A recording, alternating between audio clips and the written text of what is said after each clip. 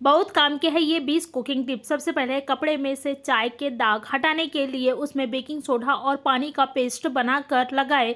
कुछ समय बाद इसे स्क्रब करें और धो लें। नेक्स्ट है, भुने हुए मूंगफली के दाने को तीन से चार मिनट के लिए ठंडा होने दें।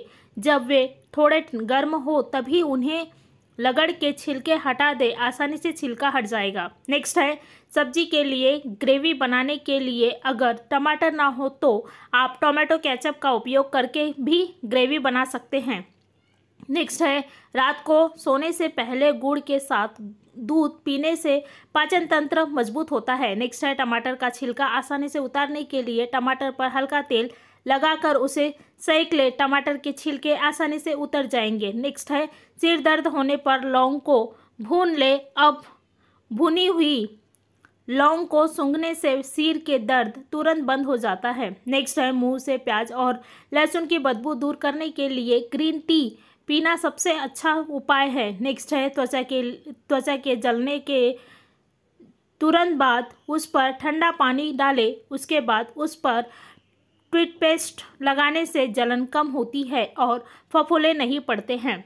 नेक्स्ट है, यदि कभी घर पर बेसन के लड्डू बना रहे हो तो उसमें थोड़ा सा मूंग की दाल का आटा भी मिला दे, इससे लड्डू का स्वाद अधिक ज़्यादा अच्छा और खूबसूरत हो जाएगा। नेक्स्ट है, बाजरा कैल्शियम से भरपूर होता है। रोज़ाना बाजरे की सेवन करने से जोड़ों की समस्या में लाभ मिलती है।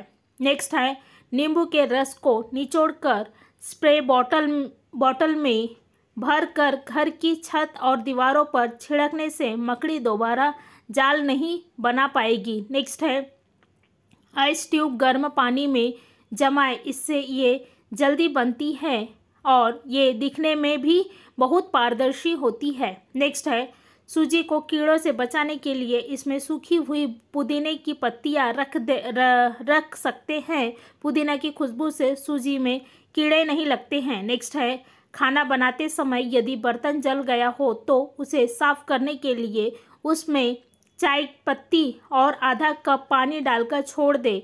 एक घंटे बाद लिक्विड से साफ़ करें बर्तन चमक उठेगा। नेक्स्ट है पानी में नमक मिलाकर किचन स्लैब साफ़ किचन स्लैब साफ़ करें या पोछा लगाए, इससे घर में पॉजिटिव एनर्जी आती है और कीड़ों मकोड़े दूर होते रहते हैं। नेक्स्ट है, मीठे भजिए बनाते समय यदि आप आटे में पानी के जगह दूध का उपयोग करेंगे तो यह और भी ज़्यादा स्वादिष्ट बनेंगे। नेक्स्ट है, रोटी बनाते समय पहली रोटी को हमेशा मोड़ कर रखें, बहुत ही सूप होता है। नेक्स्ट है, कचौड़िया सॉफ्ट और टेस्टी बनाना है, चाहते हैं तो मैदे में थोड़ा सा दही डालकर गूंथे, दाल में गूंथे। नेक्स्ट है, दाल में छौक लगाते समय तेल में ज़रा सी हल्दी मिला दे, तेल के छींटे बाहर नहीं आएँगे। नेक्स्ट है, बिरयानी और पुलाव को सजाने के लिए प्याज को भूनते समय उसमें एक चुटकी चीनी डालें ताकि वे जल्दी भूरे हो जाए। इस तरह से दादी और नानी के कुछ बताए हुए टिप्स एंड ट्रिक्स हैं। धन्यवाद।